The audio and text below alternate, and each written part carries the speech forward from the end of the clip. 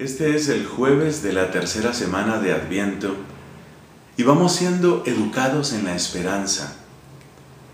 ¿Quién creyera que esa palabra tan sencilla tiene tanta profundidad y tanta hermosura de acuerdo con nuestra fe católica?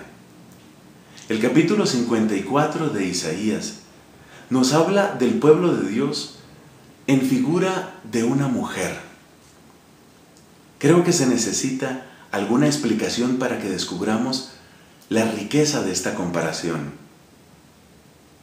La idea es que Dios viene a ser como un enamorado que ha hecho propuestas de amor a ese pueblo que entonces es como una doncella, es como una mujer, pero lamentablemente una mujer que no responde de la mejor manera a las invitaciones del amor divino. Esta mujer ha sido obstinada, ha sido terca, tiene un pasado de qué avergonzarse. La experiencia humana más corriente dice que cuando un hombre se siente defraudado o se siente engañado por la mujer que ama, su respuesta es el orgullo, orgullo herido, es la cólera, es la venganza. Pero resulta que este enamorado que es Dios tiene una respuesta muy diferente.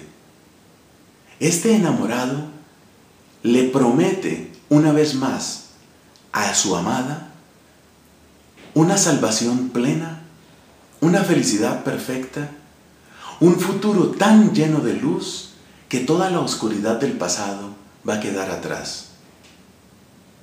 Dice Dios que jura fidelidad y que jura compasión para su amada. ¿Cómo podemos aprovechar esta promesa nosotros?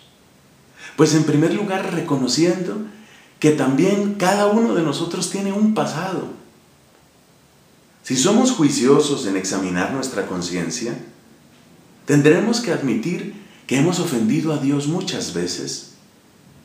Tendremos que admitir que sus propuestas de amor las hemos hecho a un lado.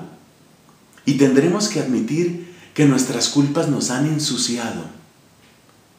Es decir, así como se puede comparar al pueblo de Dios con una doncella, cada uno puede pensar, sea hombre o mujer, cada uno puede imaginar que su alma es como esa doncella que ha querido ser conquistada por el amor de Dios.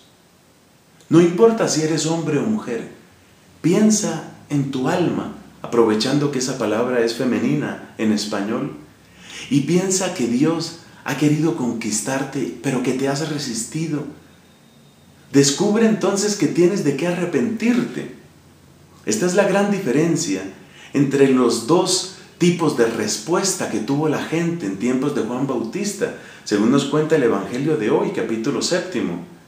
Mientras que los pecadores, por ejemplo los publicanos, reconocieron que necesitaban del bautismo de Juan como señal de conversión, hubo otros, arrogantes, los fariseos, que pensaron que no necesitaban de ese bautismo ni de la predicación de Juan.